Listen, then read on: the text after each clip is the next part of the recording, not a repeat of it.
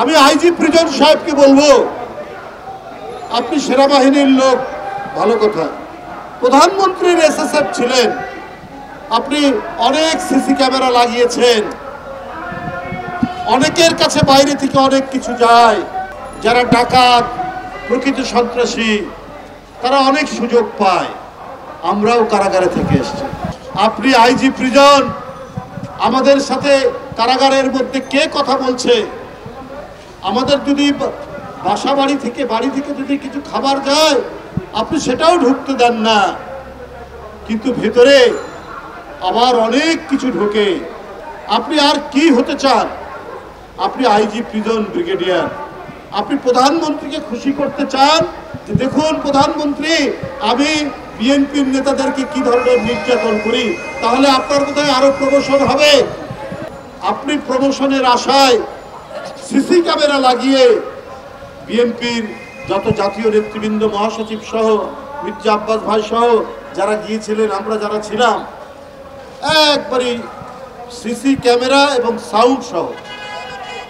মানে আমরা কি কথা বলছি? ওটাও এত অত্যাধুনিক সিসি ক্যামেরা ওইটা দিয়ে চলে যাবে। উনি নিজে সেটা শোনেন। আপনার ভালো পোস্টিং দরকার, আপনার প্রমোশন দরকার, পদোন্নতি দরকার। আপনি স্বরাষ্ট্রমন্ত্রীর অধীনেও চাকরি করেন, প্রধানমন্ত্রীর এসএসএফ ছিলেন, এসএসএফ এর দায়িত্বে ছিলেন। স্বরাষ্ট্রমন্ত্রী যে এলাকায় নির্বাচন করে, সাইফুল আলম নীরবও সেই এলাকায় নির্বাচন করে।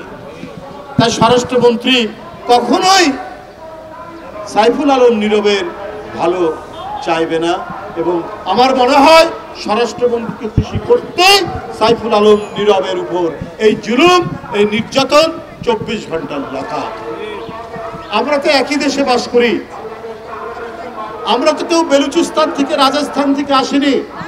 স্বরাষ্ট্রমন্ত্রী সাহেব, আপনিও এই দেশের মানুষ, আপনিও আমরাও এই দেশের মানুষ। তা আপনি যে আপনার যে প্রতি আপনার এলাকার আরেকটি রাজনৈতিক দলের প্রতিদ্বন্দ্বীকে যে আপনি নির্যাতন করছেন, এই নির্যাতন করে কি আপনার জন্য এটা আপনি মঙ্গল বই নিয়ে আসছেন?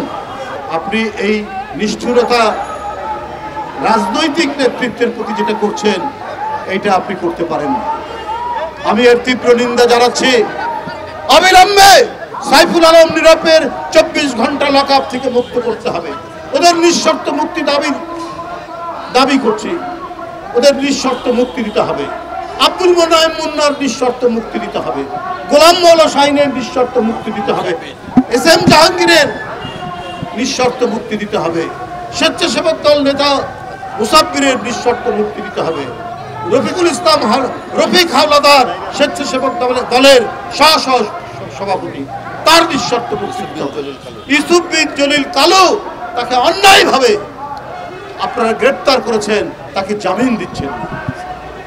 তার পরিবার থেকে, তার সমাজ থেকে, তার স্ত্রী, পুত্র, কন্যা থেকে বিচ্ছিন্ন থাকতে হয় জেলের মধ্যে। জেলের মধ্যেই নিষ্ঠুর জেল, চব্বিশ ঘণ্টা লকআপ, সে বিশুদ্ধ অক্সিজেন নিতে পারবে না, সে শ্বাস নিতে পারবে না, সে মুক্তভাবে কারোর সাথে কারাগারের মধ্যেও কারোর সাথে সে কথা বলতে পারবে কি অপরাধ করেছে? ও তো ক্যাসিনো চালায়নি, ও তো সন্ত্রাসী করেনি, ওই তো মানুষ হত্যা করেনি, সে তো করোনার নামে কোনো হাসপাতাল খোলেনি, করেছে তো সব আপনাদের লোকরা।